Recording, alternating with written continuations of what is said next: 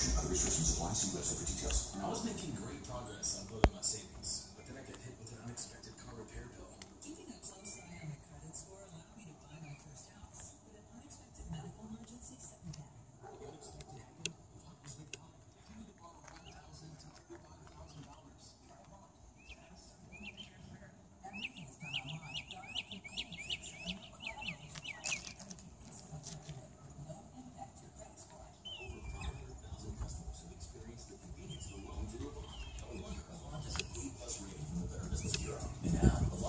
you.